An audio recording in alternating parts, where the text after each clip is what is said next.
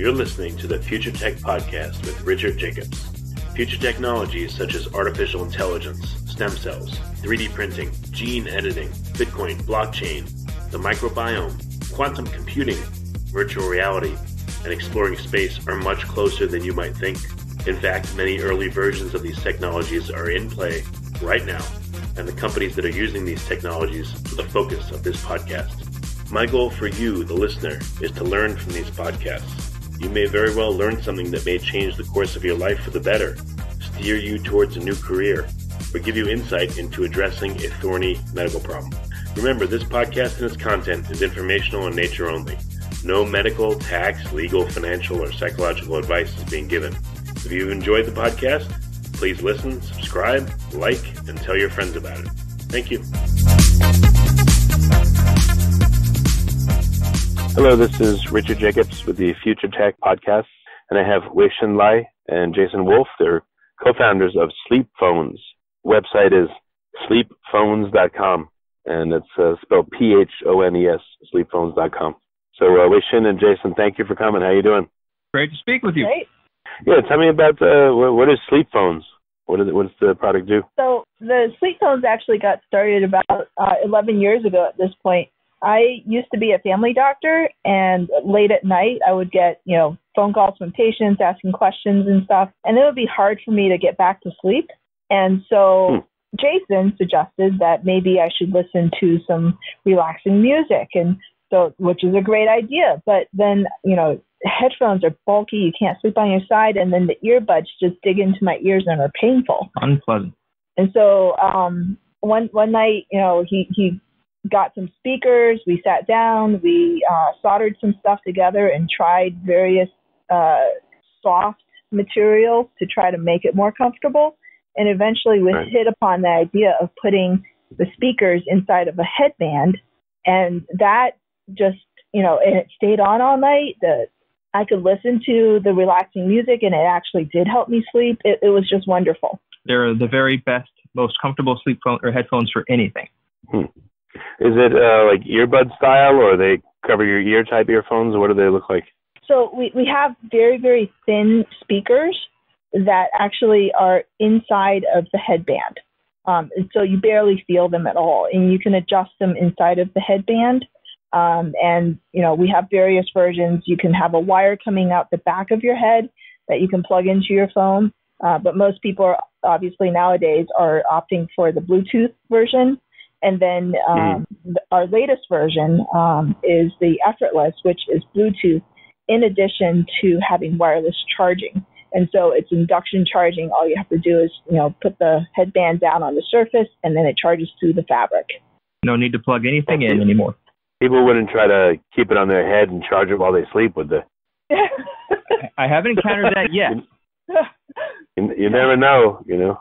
I have I have two pairs, so using the one, the other's charging. Oh, okay, that's smart. Huh.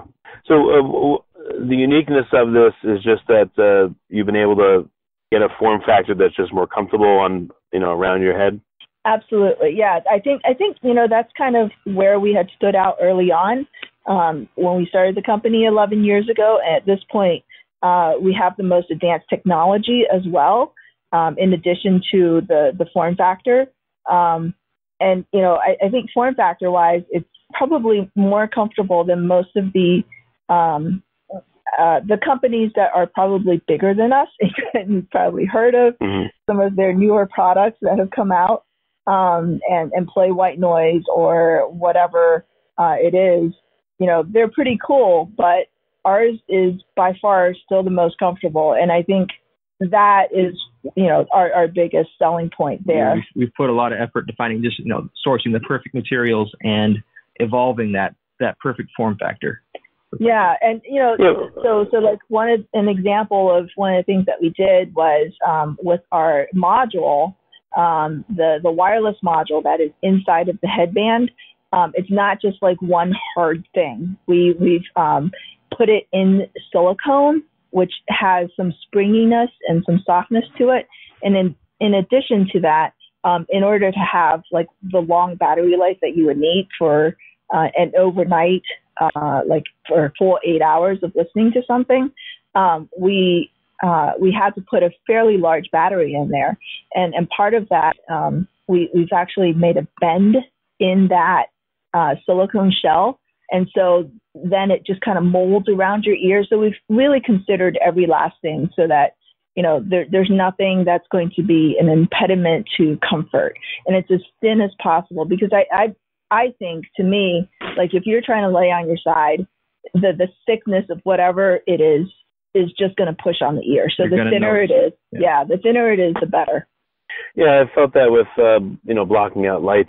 I put like a sock over my eyes and I tuck it under the uh, you know the side of my face. But if the sock is not right, the band of it is too thick, then you can feel it and it's hard to sleep. So it makes a lot of sense.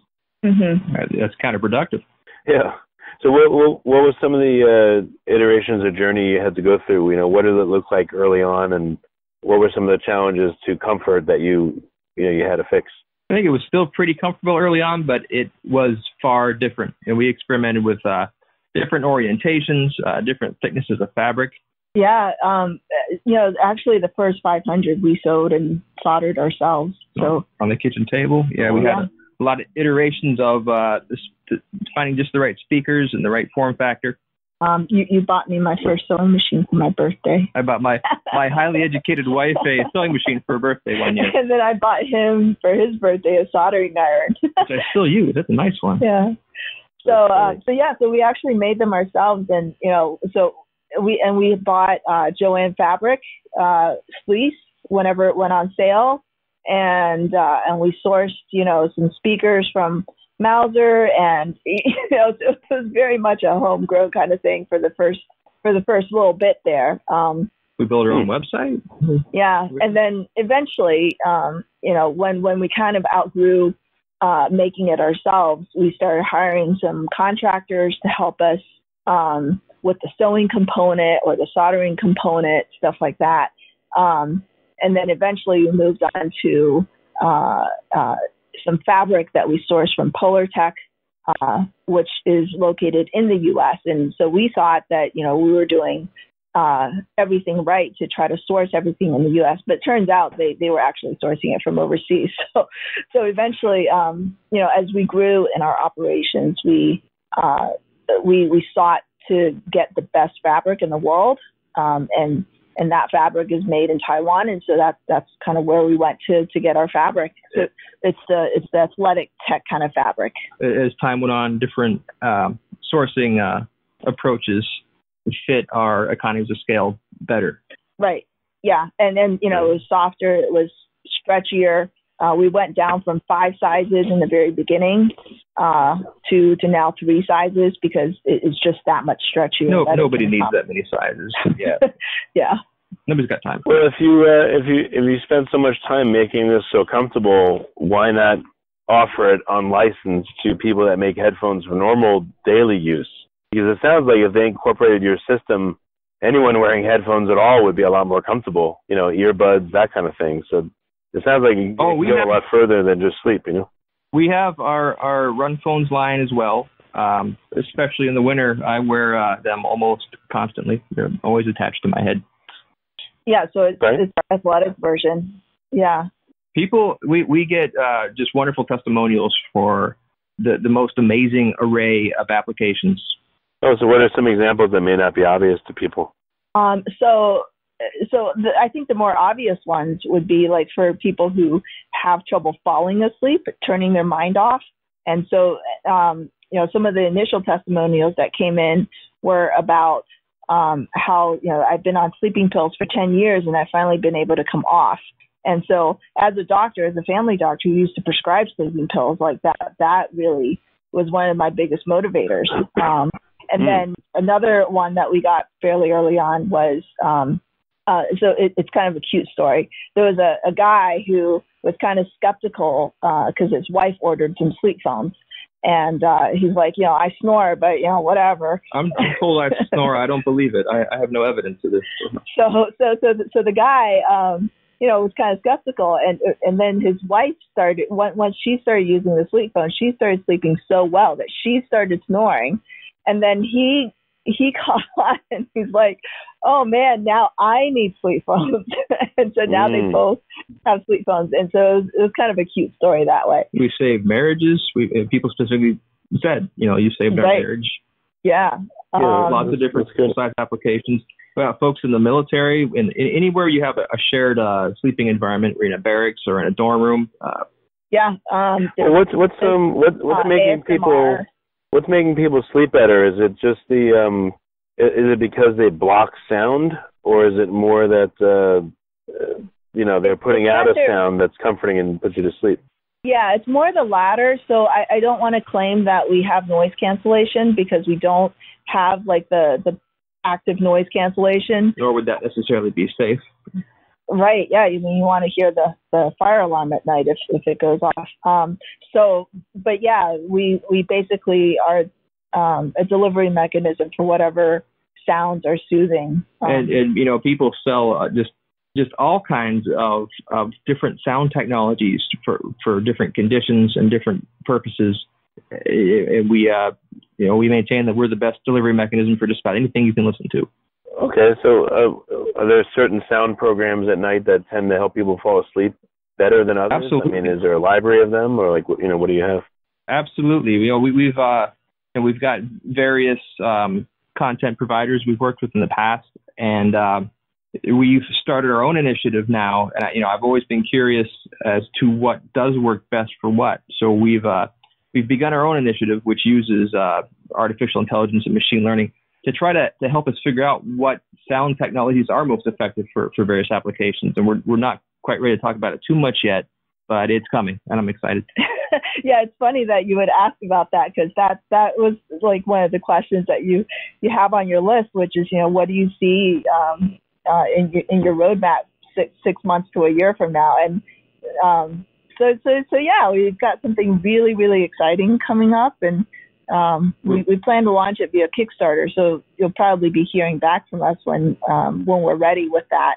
Um, but yeah, it uses it it actually um, uh, tries to figure out what is the best yeah I- I- music for you yeah. to listen to. I- There's so much variety out there. You know, just do a search on the App Store, and there, there's all kinds of Uh, stuff. you know, there, there are lots of people asserting things, and I do believe there's value to a great deal of it. But but we want to really get a better sense. Yeah, we get a get a better sense of what's going on, right. and we're going to leverage Well, our. Uh, what, what, what's in the library right now of sounds? You know, that what does it come with? Is you know, or is it you just got to hook it up and play music through a music player? Like, what is the does the headband have anything on board, or is it just pure headphone?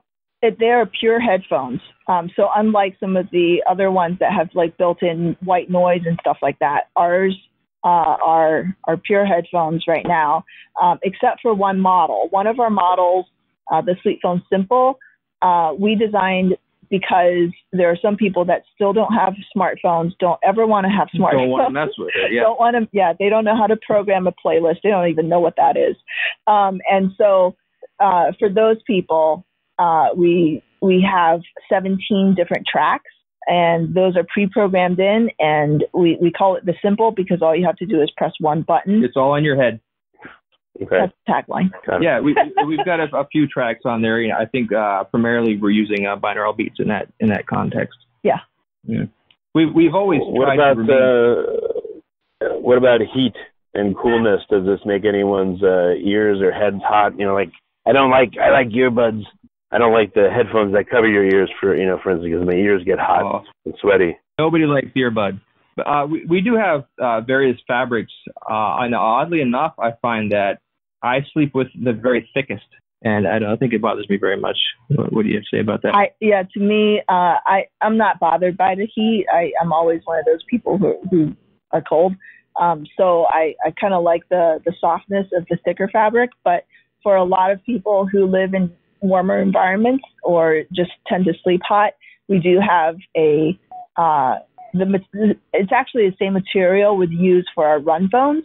Um, so our athletic version, it wicks away sweat and it just kind of uh, helps keep you dry, which also keeps you cool at the same time because it, it just, you know, once the sweat evaporates, it, it keeps you cool. and for many people living in very hot areas, they've got heavy duty air conditioning anyway, so they once again aren't bothered by it. Yeah. Yeah. Is there any need to turn this into like an eye mask slash earphone? You know, if you put on the headband just a little lower on your head, it could really, you know, it's, I know it's not Absolutely. made for that, but you could do that. But uh, any plans to do that? Oh, many of our our uh, customers use it that way. They they already do that. Yeah, we tell them to size down if they really like the the the eye mask type of concept, and so then it because the uh the I guess the circumference of your head is slightly different when you angle it differently, and so we just tell them to size down one. Yeah, this also looks like something you can combine into like a winter hat. You know, uh, for certain climates. I mean, if you had a hat made with certain slits in it where you can take in and put, it, you know, take in and put out the headphones, and uh, you can slip them into a hat, or make it a hat that you wear. You wouldn't have to worry about carrying any extra equipment for earphones. We are we're very uh, popular in Canada. Uh, I uh, I assume it's because they want something to put over their ears. Yeah, yeah. We I mean we live like pretty close to Canada. We're we're in Erie, so uh yeah, we just got like three inches and nobody bats an eye, you know. I, I think I think these last two weeks we've lived near the Arctic as far as I can tell. Oh, the polar vortex. Now. It's, it's been surprisingly windy. Yeah. yeah. Um, all right. So, it- what are the? You said there's now three sizes instead of five. So, what are, are the sizes just called small, medium, large, or do they have like some other names of them? Yeah, just yeah, just small, medium, large. Okay. And have you found that most people's heads will fit the three sizes? Oh, absolutely. Yeah. Um, so before we called it small, medium, and large, we actually called it uh, the extra small, one size fits most, and extra large. But that just got really confusing because everybody wants to assume small, medium, and large. So we decided to just kind of get back to the basics.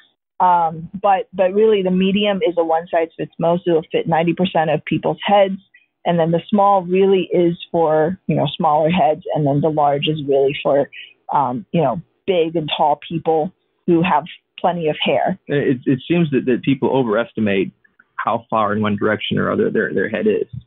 sometimes yeah yeah Well, I don't know if anyone wants to think their head is big unless uh, they assume that they have a lot of brains in their head. But It's like Sputnik. yeah. Hmm. Okay.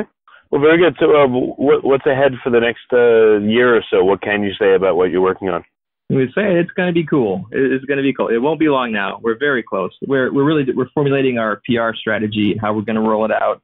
You know, we're we're uh, you know coming to the end of our alpha testing. You know, and hmm probably very close to beta testing right now. Uh, it's going to be cool. You, all right. So, what- what you're looking at right now is uh, customized music or sound or binaural beats, whatever it is, to help people fall asleep faster. Is that the current goal? it, so so we're branching out from hardware into more software uh, you know, a, Hmm. a, a content platform to uh, complement our existing hardware. You know, in, in the past, we, we've always been, we've considered ourselves very agnostic toward what people listen to. right Uh, and, and now we're going to find out what really works. And there's, there's a plethora of different uh, sound technologies that are purported to have some affect. You know, this is supposed to, uh, to, to induce some states. And, and we're going to find out what. We're going to find out what does what. Okay. Well, very good. Um, what's the best way for people to find out more? Just go to sleepphones.com, or is there another way for to reach out that's better? yeah yeah definitely uh, the, if if uh, if you're interested in buying some sleep phones just go to sleepphones.com that's s l e e p p h o n e s so two p's in the middle dot com The website's the center of our world. Yeah. Okay. Well, very good. Well, thanks for coming on the podcast. I appreciate it very much. Sure. Thank you for having us. You're listening to the Future Tech Podcast with Richard Jacobs.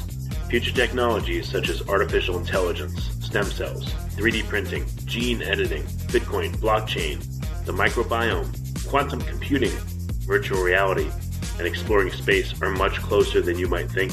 In fact, many early versions of these technologies are in play right now, and the companies that are using these technologies are the focus of this podcast. My goal for you, the listener, is to learn from these podcasts. You may very well learn something that may change the course of your life for the better, steer you towards a new career, or give you insight into addressing a thorny medical problem. Remember, this podcast and its content is informational in nature only. No medical, tax, legal, financial, or psychological advice is being given. If you've enjoyed the podcast, please listen, subscribe, like, and tell your friends about it. Thank you.